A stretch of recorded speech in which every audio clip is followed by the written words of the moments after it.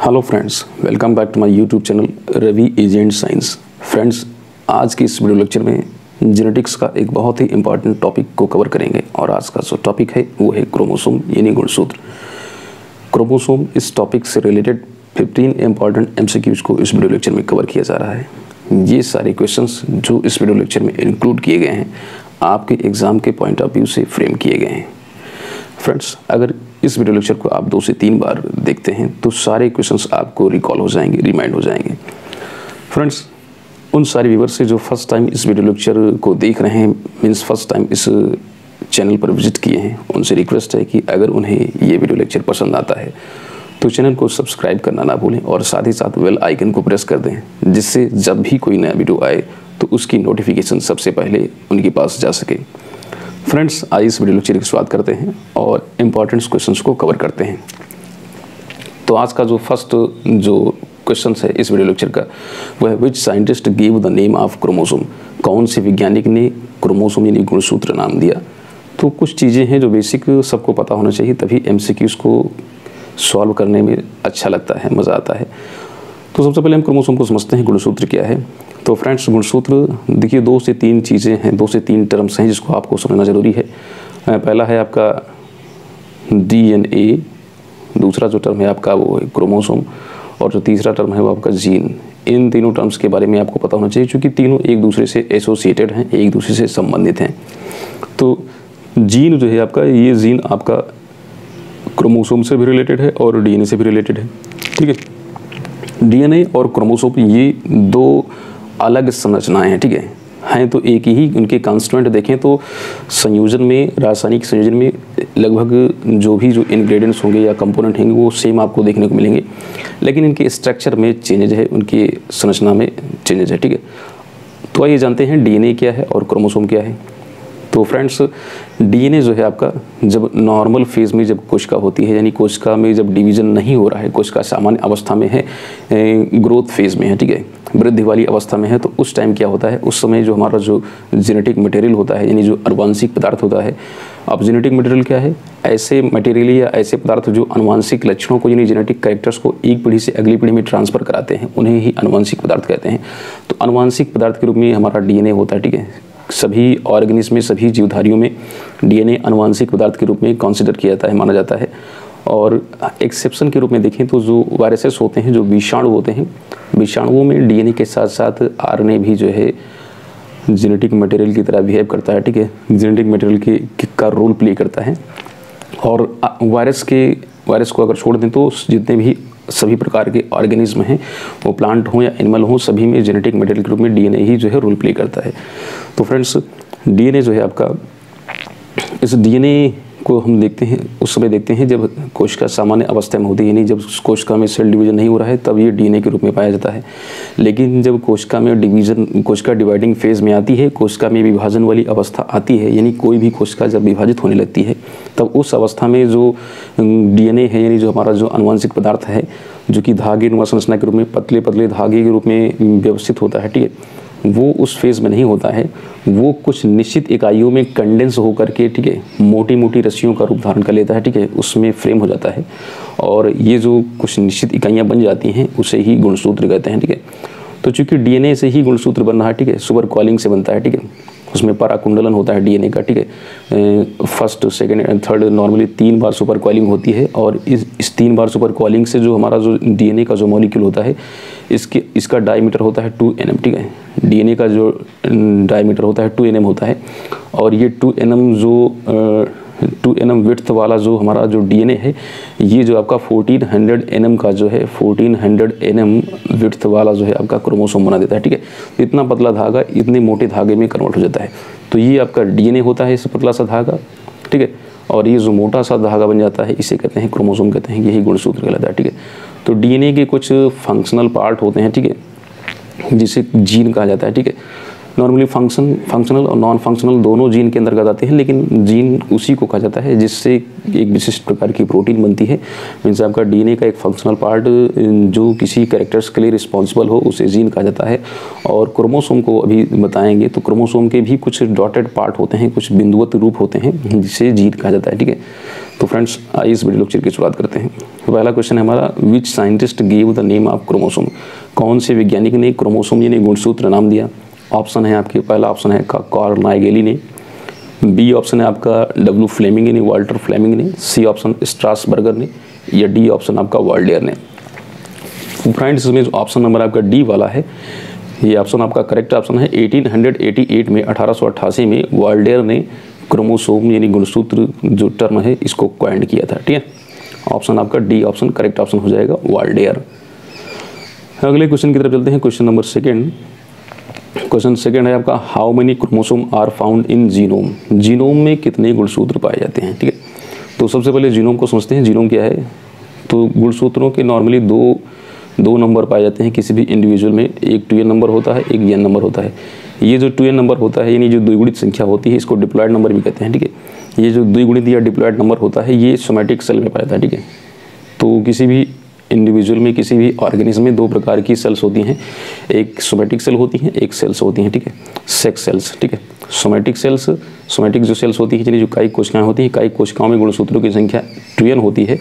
और जो sex cell होती हैं, यानी जो लैंगिक कोशिकाएँ होती हैं, लैंगिक कोशिकाओं में गुणसूत्रों की संख्या जो है एन होती है, ठीक है? सेक्स सेल्स को गैमेट भी कह सकते हैं, आप युग्मक भी इनको बोल सकते हैं, ठीक है? तो जो सेक्स सेल है, यानी लैंगिक कोशिकाएँ हैं, या जो गैमेट्स है उसमें एन नंबर होगा, और जो सोमेटिक सेल है, उसमें टू नंबर होगा, ठीक है? और इसे डिप्लॉयड नंबर कहते हैं टू नंबर को, और ये जो आपका हैप्लॉयड नंबर कहलाता है, ठीक है? तो जो हैप्लॉयड नंबर होता है, इसी को जीनोम भी कहा जाता है, ठीक है? तो गुणसूत्रों का जो अगुणित समुच्चय, ये ये डिप्लॉयड फ़ेज़ है और ये हैप्लॉयड फ़ेज़ है। तो haploid set of chromosome is called genome genome का जो डेफिनेशन है, वो कहता है कि haploid set of chromosome haploid set of chromosome is called genome ठीक है? तो ये डिप्लॉयड सेट है और हैप्लॉयड सेट आपका एन है, ठीक है? तो जीनोम में कितने नंबर हो जाएँगे? जीनोम में नंबर होंगे आपका, ऑप्शन आपका इसमें जो सी वाला है करेक्ट हो जाएगा। वन जीनोम रिप्रेजेंट करता है आपके एक गैमेट को, ठीक है? एक जीनोम जो है आपका एक गैमेट को रिप्रेजेंट करता है मीन्स आपका इसमें नंबर आप क्रोमोसोम एन होंगे, ठीक है? क्लियर हो गया? अगले क्वेश्चन की तरफ़ चलते हैं। क्वेश्चन नंबर आपका third two N number of chromosome are found in which type of cell अभी जस्ट ऊपर हमने बताया था सोमेटिक और सेक्स सेल्स के बारे में। तो जो सोमेटिक सेल्स होंगी, यानी जो काई कोशिकाएँ होंगी, उन्हीं में टू नंबर पाया जाएगा और जो सेक्स सेल्स यानी आपका जो गैमेट वाली होंगी, उसमें नहीं पाया जाएगा। आपकी ऑप्शन है कि जो टू ए नंबर आपका मेल गैमेट पाया जाता है, ये आपका ऑप्शन करेक्ट ऑप्शन नहीं है, ठीक है? रॉन्ग रॉन्ग ऑप्शन हो जाएगा। बी ऑप्शन आपका फीमेल गैमेट में पाया जाता है, ये भी आपका ऑप्शन सही नहीं है, क्योंकि ये भी गैमेट ही है, ठीक है? तो ये भी आपका ऑप्शन सही नहीं है सोमेटिक सेल्स ठीक है? तो हमने बताया था कि जो सोमेटिक सेल्स यानी ये काई कोशिकाएँ होती हैं गाय की कोशिकाओं में ही टू नंबर पाया जाता है, ठीक है? तो आपका सी ऑप्शन करेक्ट ऑप्शन हो जाएगा टू नंबर, यानी जो डिप्लॉयड नंबर आपका काई कोशिकाओं पाया जाएगा। अगला क्वेश्चन है question number four at mitotic metaphase each chromosome consist of two symmetrical structure that called mitotic जो फ़ेज़ होती है माइटोटिक का जो मेटाफेज होती है, ठीक है? समसूत्री कोश का विभाजन में जो मेटाफेज होती है, देखिए सेल डिवीज़न की बात करें तो सेल डिवीज़न में नॉर्मली चार फ़ेज़ पाए जाते हैं एम फ़ेज़ में, ठीक है? सेल डिवीज़न को दो भागों में डिवाइड किया जाता है, दो पार्ट में डिवाइड किया जाता है। एक होता है, उसका आपका इंटरफेस होता है, एक होता है दूसरा वाला जो आपका एम फ़ेज़ यानी माइटोटिक या मियोटिक फ़ेज़ ठीक है? जिसमें रियल में जो है कुछ का डिवाइड होती है। तो जो आपका इंटरफेस होता है इंटरफेस में ये ग्रोथ अपनी करती है, ठीक है? अपने को प्रिपेयर करती है, जिसमें आपका G one S G two इन फ़ेज़ को आप पढ़ेंगे इंटरफेस में। मध्य अवस्था में या इसको कहते हैं विभाजन अंतराल अवस्था इंटरफेस और एम फ़ेज़ जो होती है एम फ़ेज़ में चार फ़ेज़ पाए जाते हैं। एम फ़ेज़ में चार फ़ेज़ होते हैं कौन कौन से prophase metaphase anaphase and telophase तो कह रहे हैं कि जो एम फ़ेज़ है ठीक है? यानी जो आपका जो माइटोटिक फ़ेज़ है या म्योटिक फ़ेज़ है एम फ़ेज़ जिसमें कुछ का रियल में डिवाइड हो रही है, पहला वाला फ़ेज़ इंटरफेज तो मैंने बताया कि उसमें कुछ का डिवाइड नहीं हो रही है, उसमें कुछ का प्रिपेयर कर रही, अपने को तैयार कर रही डिवाइड होने के लिए, ठीक है?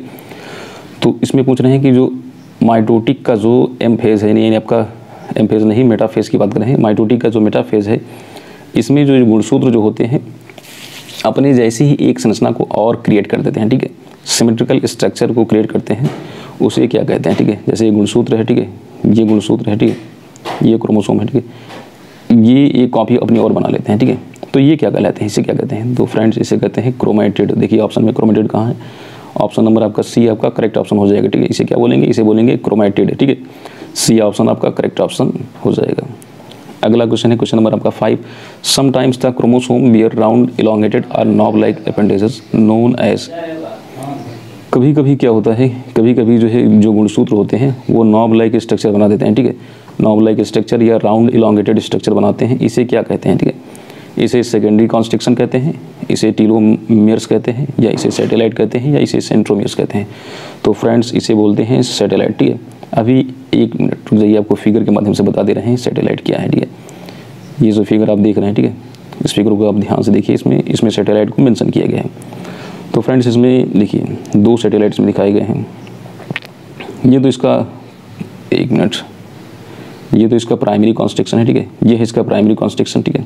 ये वाला है, इसे प्राइमरी कॉन्स्ट्रक्शन कहते हैं। अगर यहाँ से ऐसे एक एक आर्म और बन जाए तो ये सेकेंडरी कॉन्स्ट्रक्शन हो जाएगा, और इसे सैटेलाइट कहेंगे, जैसे यहाँ पर दिखाया गया है, ये। ठीक है, ये सेकेंडरी कॉन्स्ट्रक्शन है और सेकेंडरी कॉन्स्ट्रक्शन के बाद एक नॉब लाइक स्ट्रक्चर ये बनी है, इसे ही सैटेलाइट कहते हैं, ठीक है? समझ गए? सेटेलाइट क्या है? तो ये आपका सैटेलाइट है, इसे कहते हैं सेटेलाइट और जिन गुणसूत्रों में सेटेलाइट पाया जाता है, उन्हें साइड क्रोमोसोम कहते हैं। क्या कहते हैं उन्हें? ऐसे क्रोमोसोम जिनमें सेटेलाइट पाया जाता है सेटेलाइट वाला जो पार्ट होता है नॉब लाइक स्ट्रक्चर उसे कहते हैं, उसे क्या बोलते हैं? उसे कहते हैं साइड क्रोमोसोम ठीक है?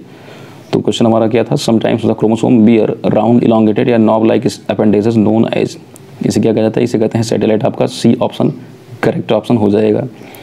अगले क्वेश्चन की तरफ़ मूव करते हैं। क्वेश्चन नंबर आपका six polygene chromosome was discovered by which scientist यानी जो पॉलीजीन जो क्रोमोसोम होते हैं पॉलीजीन क्या? पॉलीटीन गलत हो गया पॉलीटीन ठीक है? Polytene chromosome was discovered by which scientist किस साइंटिस्ट द्वारा जो है इसको डिस्कवर्ड किया गया था? आपके ऑप्शन है E G Balbiani Burns Koller N H Bogart तो आपका पहला ऑप्शन जो आपका इजी बालबियानी ये स्पेशल टाइप के क्रोमोसोम होते हैं पॉलीटीन ठीक है? पॉलीटीन जो क्रोमोसोम है पॉलीटीन और लैम्ब ब्रोस ये दो स्पेशल टाइप ऑफ़ क्रोमोसोम पढ़ेंगे तो उसमें आपको देखने को मिलेंगे। तो पॉलीटीन क्रोमोसोम जो है आपका ईजी बालबियानी के द्वारा जो है डिस्कवर किया गया था। फ़र्स्ट ऑप्शन करेक्ट ऑप्शन अगला क्वेश्चन है क्वेश्चन नंबर आपका seven metacentric chromosome are found in which shape यानी जो मेटासेंट्रिक जो क्रोमोसोम होते हैं, वो किस शेप में पाए जाते हैं? तो देखिए फ्रेंड्स शेप के अकॉर्डिंग ठीक है? Shape and position of centromere के अकॉर्डिंग जो क्रोमोसोम है क्रोमोसोमों को चार भागों में डिवाइड किया गया है। कौन कौन से चार भाग हैं? Acrocentric metacentric sub metacentric and telocentric ये चार भाग में डिवाइड किया गया है। किसके बेस पर? On the basis of centromere position या फिर on the basis of shape of chromosome ठीक? तो क्रोमोसोम के शेप के, के आधार पर मुझे रहेंगे जो मेटासेंट्रिक है ठीक है? मेटासेंट्रिक को अगर आप देखें तो इस तरीके से क्रोमोसोम होता है ये। इसमें दो, जो दोनों आर्म्स होती हैं ये हो गया इसका सेंट्रोमियर हो गया एक आर्म ये हो गई एक आर्म ये हो गई। दोनों आर्म्स भुजाएँ जो है बराबर होती हैं ठीक है? दोनों की लेंथ बराबर होती है। तो ये कौन सा शेप हो गया? ये हो गया वी शेप ठीक है? इसे क्या बोलते हैं? वी शेप ये आपका वी शेप बी ऑप्शन आपका करेक्ट ऑप्शन हो जाएगा ठीक है? अगला क्वेश्चन हमारा क्वेश्चन नंबर आपका eight chromosome appears in which phase chromosome किस फ़ेज़ में दिखाई देते हैं या क्रोमोसोम को आप कब देखते हैं कोशिका में, ठीक है? कोशिका में कोशिका में जो है गुणसूत्र कब दिखाई देता है? तो नॉर्मल फ़ेज़ ऑफ़ सेल में, ठीक है? जब कोशिका नॉर्मल फ़ेज़ में होती है तो उस समय दिखाई देता है। डिवाइडिंग फ़ेज़ ऑफ़ सेल्स में, यानी कोशिका में जब विभाजन होता रहता है, तब उस समय गुणसूत्र दिखाई देते हैं। आफ्टर डिवीज़न यानी जैसे ही डिवीज़न हो गया, उसके बाद दिखाई देते हैं। या ऑल दीज इन सभी अवस्थाओं में देख सकते हैं आप गुणसूत्र को। तो नॉर्मली जो गुणसूत्र होते हैं, वो डिवाइडिंग फ़ेज़ में दिखाई देते हैं। आपका ऑप्शन नंबर आपका बी करेक्ट हो जाएगा, ठीक है? जब ये कोशिका में विभाजन होता है, ठीक है तो विभाजन वाली अवस्था में इसको आप आसानी से देख सकते हैं गुणसूत्रों को, ठीक है। बी ऑप्शन आपका करेक्ट ऑप्शन हो जाएगा। अगला क्वेश्चन है question number nine highly condense part of chromosome is ठीक है। गुणसूत्र का जो संगनित भाग होता है, ज़्यादा संगनित यानी उच्च संगनित भाग है, उसे क्या कहते हैं? उसे हेट्रोक्रोमेटिन कहते हैं। बी ऑप्शन उसे यू क्रोमेटिन कहते हैं। सी ऑप्शन उसको सेंट्रोमियर कहते हैं या डी ऑप्शन उसे क्रोमेटिन कहते हैं। तो फ्रेंड्स गुणसूत्र में कंडेंसेशन के के बेस पर जो है दो पार्ट होते हैं। एक हेट्रोक्रोमेटिन कहलाता है, दूसरा यू क्रोमेटिन कहलाता है। तो जो हेट्रोक्रोमेटिन है, ये हाईली कंडेंस वाला है और यू क्रोमेटिन है, ये लाइट कंडेंस वाला, ठीक है? यहाँ पर संग्रहण कम होता है। यू क्रोमेटिन वाले में लाइट कंडेंस होता है, ठीक है? यू क्रोमेटिन जो होता है, ये वाला पार्ट यू क्रोमेटिन वाला। यू क्रोमेटिन में जो गुणसूत्र सॉरी जो जीन्स होते हैं, उनकी अधिकता पाई जाती है इनका बता रहे हैं कि इसकी, इसका कंडेंसेशन कम है गुणसूत्रों की अधिकता पाई जाएगी। क्रॉसिंग ओवर यानी क्रॉसिंग ओवर जो होता है, वो भी अधिक मात्रा में पाया जाता है यूक्रोमेटिन इस वाले, यहाँ पर इस इस फ़ेज़ में, ठीक है? और हेट्रोक्रोमेटिन होता है, इसमें इसका कंडेंसेशन ज़्यादा होगा, ठीक है फ्रेंड्स और साथ ही साथ जो है, इसमें जो जीन्स होंगी जीन्स की संख्या कम पाई जाएगी, और क्रॉसिंग ओवर जो है, वो भी कम दिखाई देगा, ठीक है? तो आपका ये पहला ऑप्शन आपका करेक्ट ऑप्शन करेक्ट ऑप्शन हो जाएगा। हाईली कंडेंस पार्ट जो है गुणसूत्र का, उसे हेट्रोक्रोमेटिन कहते हैं। ये ऑप्शन करेक्ट ऑप्शन अगला क्वेश्चन है क्वेश्चन नंबर आपका ten according to whom scientist chromomere are gene or group of gene किस वैज्ञानिक के अनुसार जो क्रोमोमियर होते हैं या इसको हिंदी में कहते हैं वर्ण कणिकाएँ? किस वैज्ञानिक के अनुसार क्रोमोमियर या वर्ण कणिकाएँ जीन हैं, ठीक है? यानी क्रोमोमियर को ही जीन कहा जाता है या क्रोमोमियर ग्रुप ऑफ़ जीन है, ठीक है? तो किस वैज्ञानिक ने ऐसा कहा था कि क्रोमोमियर जीन होते हैं या क्रोमोमियर को जीन के समूह कहते हैं? कौन से वैज्ञानिक थे? फ़र्स्ट ऑप्शन आपका डब्ल्यू फ्लेमिंग ने, यानी वर्ल्डर फ्लेमिंग ने बी ऑप्शन आपका बेलिंग ने सी ऑप्शन वाल्डियर ने D option none of this तो किस वैज्ञानिक ने बताया कि जो क्रोमोमियर यानी जो वर्ण कणिकाएँ होते हैं, वो जीन होते हैं या जीन के समूह होते हैं तो आपका ऑप्शन आपका बी बेलिंग करेक्ट ऑप्शन हो जाएगा, ठीक है? बेलिंग नामक साइंटिस्ट ने बताया था कि जो क्रोमोमियर होते हैं, यानी जो वर्ण कणिकाएँ हैं, वो एक जीन को या ग्रुप ऑफ़ जीन को रिप्रेजेंट करते हैं। आपका सेकंड ऑप्शन करेक्ट हो जाएगा बेलिंग ठीक? फ्रेंड्स अगला क्वेश्चन है। क्वेश्चन नंबर आपका इलेवन ग्यारह नंबर का question which scientist describe the structure of nucleosome किस वैज्ञानिक ने न्यूक्लियोसोम के स्ट्रक्चर को डिस्क्राइब किया था? तो फ्रेंड्स इसके इसमें आपके ऑप्शन हैं। पहला ऑप्शन आपका वुडकॉक ने बी ऑप्शन आपका आर कॉर्नबर्ग ने सी ऑप्शन आपका बेलिंग ने, या डी ऑप्शन जॉनसन ने। तो इसमें जो ऑप्शन नंबर आपका जो बी है करेक्ट ऑप्शन है आपका आर कॉर्नबर्ग ने जो है न्यूक्लियोसोम के स्ट्रक्चर को डिस्क्राइब किया था। इसमें और भी ऑप्शन हैं आपके। पहला ऑप्शन है वुडकॉक। तो वुडकॉक ने क्या किया था? इन्होंने न्यूक्लियोसोम को फ़र्स्ट टाइम जो है, इसको डिस्क्राइब डिस्क्राइब किया था और साथ ही साथ जो है, इसको न्यूक्लियोसोम टर्म भी क्वाइंट किया था। लेकिन आर कॉर्नवर्ग ने इसके स्ट्रक्चर को जो है, डिस्क्राइब किया था। ठीक है, इसके संरचना के बारे में बताया था, ठीक है, कि ये जो आपका जो न्यूक्लियोसोम होता है न्यूक्लियोसोम में ये जो कॉम्पोनेंट्स पाए जाते हैं, इसमें ठीक है, इसमें लिंकर डीएनए होता है, इसमें स्टोन और नॉन स्टोन प्रोटीन पाई जाती हैं, इसमें इस तरीके से स्टोन नॉन स्टोन प्रोटीन्स का क्या कंपोजिशन होता है। इन सारी बातों को मेंशन किया था किसने? आर कॉर्नबर्ग ने और वुडकॉक ने जो है न्यूक्लियोसोम टर्म को क्वाइंट किया था और थोड़ा बहुत इसके बारे में मेंशन किया था, ठीक है? लेकिन स्ट्रक्चर को मेंशन किसने किया था? कॉर्नबर्ग ने। बी ऑप्शन आपका करेक्ट ऑप्शन हो जाएगा। अगला क्वेश्चन है क्वेश्चन नंबर आपका twelve where is the lamp brush chromosome found ठीक है? यानी लैम्ब ब्रुश गुणसूत्र हैं, कहाँ पाए जाते हैं या किसमें पाए जाते हैं, ठीक है? पहला ऑप्शन है आपका राइस में पाया जाता है, यानी चावल में। बी ऑप्शन आपका ओ साइट ऑफ़ वर्टिब्रेट्स में पाए जाते हैं। सी ऑप्शन आपका स्लेवरी ग्लैंड ऑफ़ ड्रोसोफिला में, या डी ऑप्शन ऑल दिस तो ये आपका इसमें बी ऑप्शन है, आपका ओ साइट ऑफ़ वर्टिब्रेट्स ये आपका करेक्ट ऑप्शन है, ठीक है? जो कशेरकी होते हैं, कशेरकों के जो अंड कोशिकाएँ होती हैं वो साइड होते हैं, उसमें इनको आप आसानी से देख सकते हैं, ठीक है? तो तीसरा वाला जो ऑप्शन है इसमें स्लेवरी ग्लैंड ऑफ़ ड्रोसोफिला इसमें जो आपके पॉलिटीन जो गुणसूत्र होते हैं ठीक है? पॉलीटीन गुणसूत्र कहाँ पर पाए जा, पाए जाते हैं? तो उसका एक एग्ज़ाम्पल है स्लेवरी ग्लैंड ऑफ़ ड्रोसोफिला ठीक है? ड्रोसोफिला का जो स्लेवरी ग्लैंड होता है इसमें आप जो है पॉलीटीन क्रोमोसोम को देख सकते हैं ठीक है? तो फ्रेंड्स आपका बी ऑप्शन आपका करेक्ट ऑप्शन हो जाएगा। अगला क्वेश्चन है क्वेश्चन नंबर आपका thirteen how many types of protein molecule are found in nucleosome structure जो न्यूक्लियोसोम स्ट्रक्चर होता है, उसमें कितने प्रकार की प्रोटीन पाई जाती है? तो फ्रेंड्स आपका इसमें बी ऑप्शन करेक्ट ऑप्शन है। चार प्रकार की पाई जाती हैं। कौन कौन सी हैं? H two A H two B H three और H four H two A H two B S two B S three और H four H three and H four ये चार प्रकार की प्रोटीन्स पाई जाती हैं किसमें? न्यूक्लियोसोम स्ट्रक्चर में, ठीक है? ऑप्शन आपका बी करेक्ट हो जाएगा। S two A S two B S three और एच फोर, ये चार प्रकार की प्रोटीन्स पाई जाती हैं। और इनकी जो संख्या होती है वो टू टू की संख्या पाई जाती है, ठीक है? दो दो की, दो दो की संख्या पाई जाते हैं। अगला है क्वेश्चन आपका fourteen. Which phase of cell division chromosome clearly visible ठीक है? सेल डिवीज़न यानी कोशिका विभाजन के किस फ़ेज़ में जो है आपका सेल डिवीज़न होता है, ठीक है? सॉरी क्या कर रहा था? Which phase of cell division cell division के किस फ़ेज़ में क्रोमोसोम क्लियरली विजिबल होते हैं, ठीक है? ये करेक्ट है कि यानी सेल डिवीज़न जो होता है कोश का विभाजन, उसके किस फ़ेज़ में आप जो है गुणसूत्रों को विजुअली देख सकते हैं क्लियरली विजुअल देख सकते हैं। तो प्रोफेज में ज़्यादा क्लियर विजुअल दिखते हैं, या मेटाफेज में एनाफेज में, या टीलोफेज में आपका बी ऑप्शन करेक्ट ऑप्शन है। यानी मेटाफेज में आप गुणसूत्रों को क्लियरली विजुअल देख सकते हैं, ठीक है? गुणसूत्र सबसे ज़्यादा स्पष्ट दिखाई देते हैं किस फ़ेज़ में? मेटाफेज में। बी ऑप्शन करेक्ट ऑप्शन ठीक है? और इसलिए मेटाफेज में ही गुणसूत्रों के स्ट्रक्चर को, यानी गुणसूत्रों के जो है आपका शेप को साइज़ को जो है ऑब्ज़र्व किया जाता है स्टडी की जाती है मेटाफेज में ही, ठीक है? अगला क्वेश्चन है क्वेश्चन नंबर आपका फिफ्टीन और ये इस ट्यूटोरियल का लास्ट क्वेश्चन भी है। Covering of chromosome is called chromosome के कवरिंग को क्या कहते हैं? ऑप्शन आपके मैट्रिक्स कहते हैं टीलोमियर कहते हैं पेलिकल कहते हैं, या निक्लियो निक्लियोलस कहते हैं। तो इसमें ऑप्शन नंबर आपको जो सी है, ये करेक्ट ऑप्शन है आपका पेलिकल इनकी जो कवरिंग होती है गुणसूत्रों की, जैसे गुणसूत्र हैं तो गुणसूत्र की जो कवरिंग है, ये जो आपका जो बाहर वाली जो मेम्ब्रेन होती है, ये इस मेम्ब्रेन को कहते हैं पेलिकल ठीक है? ये कहलाती है पेलिकल ठीक है? सी ऑप्शन आपका करेक्ट ऑप्शन हो जाएगा।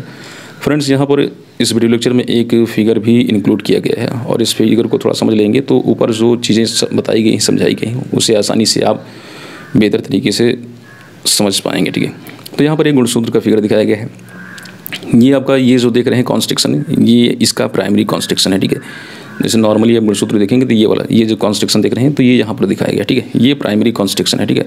इसके अलावा इसमें दो स्थानों पर, दोनों आर्म्स यानी दोनों भुजाओं में इसमें सेकेंडरी कॉन्स्ट्रक्शन भी दिखाया गया, ठीक है? ये सेकेंडरी कॉन्स्ट्रक्शन यानी एक ऐसा पॉइंट एक ऐसा बिंदु जहाँ पर आर्म्स यानी भुजाएँ जो है ज्वाइंट होती हैं फ्यूज होती हैं, उसे कॉन्स्ट्रक्शन कहते हैं प्राइमरी कॉन्स्ट्रक्शन कहते हैं, वो संकुचन, या प्राथमिक संकुचन कहलाता है। इसके अतिरिक्त कभी कभी गुणसूत्रों में एक और जो है एक्स्ट्रा जो है कॉन्स्ट्रक्शन पाया जाता है, इसे सेकेंडरी कॉन्स्ट्रक्शन कहते हैं। ये सेकेंडरी कॉन्स्ट्रक्शन ये सेकेंडरी कॉन्स्ट्रक्शन दो द्वितीय संकुचन भी दिखाया गया है, ठीक है?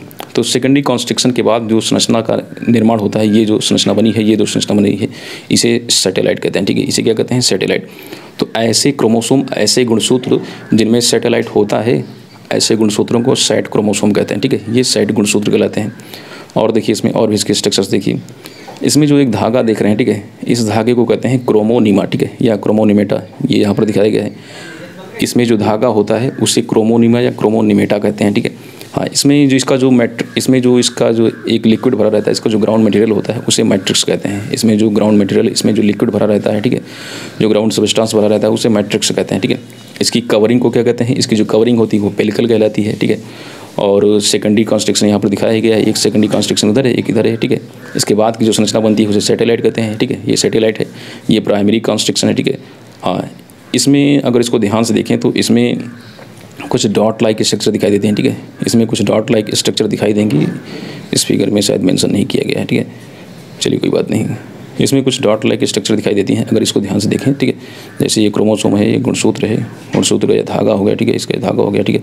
तो इसमें कहीं कहीं पर कुछ डॉटेड संरचनाएँ होती हैं, कुछ, एक मिनट जरा इसको बता दे रहे। हैं यहाँ पर कुछ डॉटेड होते हैं, कुछ ऐसे डॉट होते हैं, ठीक है? इन डॉट्स को कहते हैं, इसे क्या कहते हैं? इसे कहते हैं क्रोमोमियर ठीक है? इसे क्या कहते हैं? क्रोमोमियर ये डॉट जो होते हैं, बिंदु होते हैं क्रोमोमियर ये एक जीन को रिप्रेजेंट करते हैं। किसने बताया था? बेलिंग नामक साइंटिस्ट ने बताया था। ऊपर इसको मेंशन भी किया गया, ठीक है? एक सिंपल सा भी यहाँ पर फिगर दिखाया गया है, ठीक है? ये देखिए, एकदम सिंपल सा फिगर दिखाया है क्रोमोसोम का। ये है क्रोमोसोम इसका प्राइमरी कॉन्स्ट्रक्शन है सेंट्रोमियर भी कहते हैं इसे इसे काइनेटोकोर भी कहा जाता है। और ये दो आर्म इसके दिखाए गए हैं, ये क्रोमेटेड है, ठीक है? ये क्या है? क्रोमेटेड आपस में इन दोनों को कहते हैं सिस्टर क्रोमेटिड्स ठीक है? और ये आर्म छोटी वाली आर्म को पी कहते हैं, बड़ी वाली आर्म को क्यू कहते हैं तो पी और क्यू आर्म ही कहते हैं, ये सिस्टर क्रोमेटिड्स हैं, ठीक है? और बाकी संरचना तो इधर मेंशन कर ही दिया गया है। तो फ्रेंड्स आज के इस वीडियो लेक्चर में क्रोमोसोम इस टॉपिक को कवर किया गया है। इससे रिलेटेड 15 इंपॉर्टेंट एम को भी कवर किया गया मुझे उम्मीद है कि ये वीडियो लेक्चर आपको समझ में आया होगा और इससे इससे रिलेटेड जो भी क्वेश्चन इस वीडियो लेक्चर में इंक्लूड किए गए हैं, सभी क्वेश्चन आपको बेहतर तरीके से समझ में आ गए होंगे। तो फ्रेंड्स एक नए वीडियो के साथ जल्द ही आपसे मुलाकात करते हैं। तब तक के लिए जय